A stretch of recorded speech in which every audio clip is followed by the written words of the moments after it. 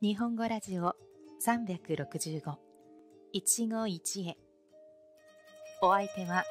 夏目でお送りします。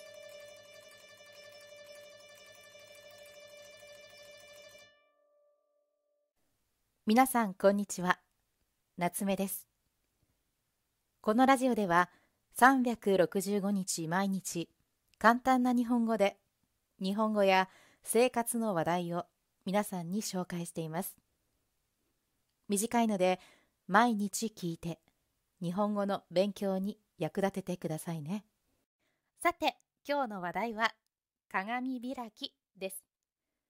皆さんは鏡開きという言葉を聞いたことはありますか？また、鏡開きをしたことがありますか？鏡開きとは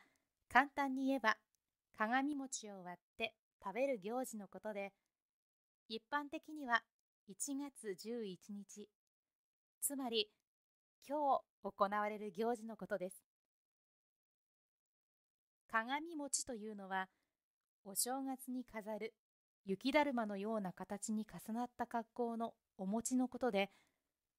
お正月の間は年神様がそこへ宿っていると考えられています。鏡開きにはその鏡餅を割ってお汁粉やお雑煮にして食べて一年の無病息災つまりは病気をせずに無事でいられることを願う意味があるのだそうです。食べてこその鏡餅というわけですね。ところでこの鏡餅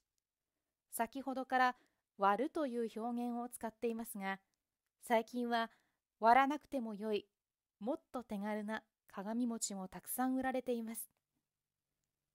鏡餅の形をしたプラスチックのケースをひっくり返すと、蓋が剥がせるようになっていて、開けると個装になった切り餅が入っているというものです。お餅を触ったことがある人はわかると思うのですが、弾力があるので割るのはなかなか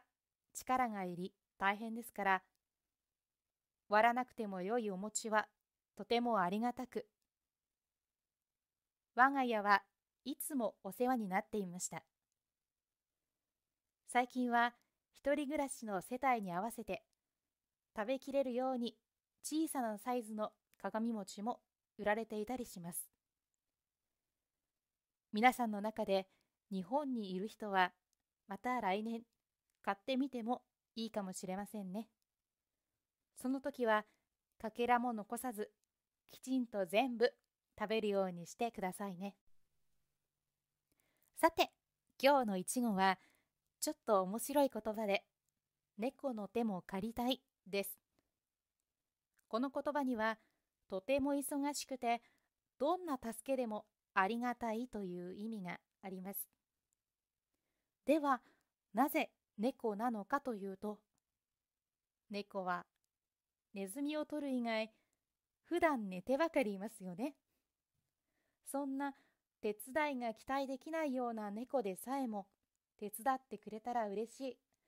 それぐらい忙しいということを言っているんですね。例としては最近は新しい仕事で忙しく猫の手も借りたいぐらいだというように使います。ただこの言葉には誰でもいいから手伝ってほしいというニュアンスがあるので例えば猫の手も借りたいぐらい忙しいので手伝ってくださいと誰かに言ったのでは失礼になってしまいます。この言葉を使うのは自分の忙しさを嘆く時だけにして依頼には使わないでくださいね。それではまた次回お会いしましょう。良い一日を。またね。